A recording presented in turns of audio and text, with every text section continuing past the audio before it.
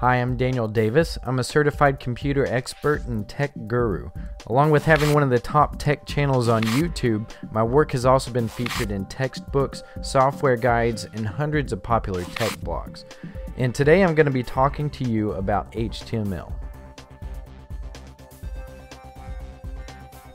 Computers use language to communicate just like people do.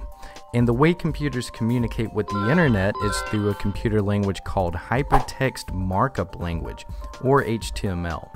Hypertext is the process of linking objects to each other so that when one object is clicked, the linking object can be viewed. And the hypertext markup language was created by Tim Berners-Lee in 1990 so that the hypertext could be used through the internet. Web pages doesn't make you a programmer. Instead, the hypertext markup language contains a series of markup tags that are used to classify and group elements in a web page. A web browser then reads these markup tags and translates them into what we visibly recognize as a website. Most web browsers allow you to view the HTML code for any web page.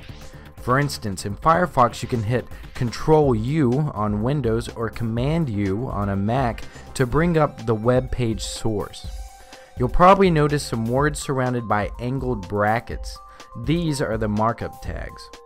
All web pages must consist of certain markup tags before they can be legitimately considered web pages.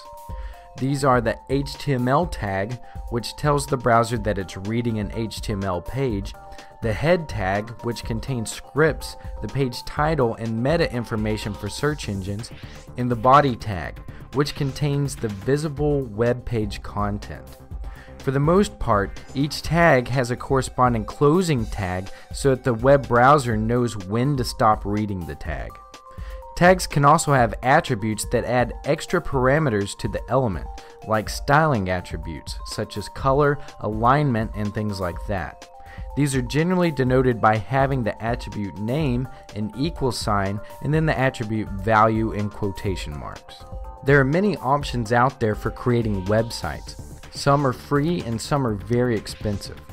Programs such as Dreamweaver allow you to drag and drop what you want where you want it without ever having to see an ounce of code. These editors are called WYSIWYG or what you see is what you get editors. But to code a website from scratch, all you really need is a text editor such as Notepad for Windows or TextEdit for Mac and a web browser, and that's it.